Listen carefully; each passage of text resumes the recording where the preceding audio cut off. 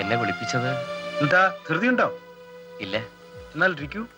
ചിരസ്മരണെ എന്ന കന്നഡ നോവലിനെ ആസ്പദമാക്കി ശ്രീ ലെനിൻ രാജേന്ദ്രൻ തിരക്കഥയും സംവിധാനവും നിർവഹിച്ച ചിത്രമായിരുന്നു ആയിരത്തി തൊള്ളായിരത്തി എൺപത്തി ആറിൽ പുറത്തിറങ്ങിയ മീനമാസത്തിലെ സൂര്യൻ. പാവം ചെയ്തവരല്ലേ പശ്ചാത്തപിക്കേണ്ടത്?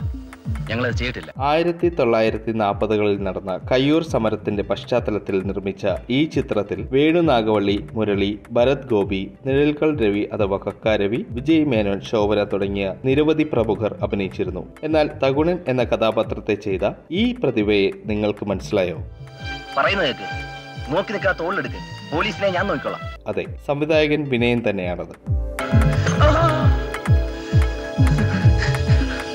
നീയാണല്ലേ ടക്മാൻ അപ്പൊ ശരി. എന്നാ വരട്ടെ. കഴിക്കാൻ എന്തെങ്കിലും കൊടുക്ക. വേണ്ട. ഇനി ഒരുപാട് പേരെ കാണാനുണ്ട്.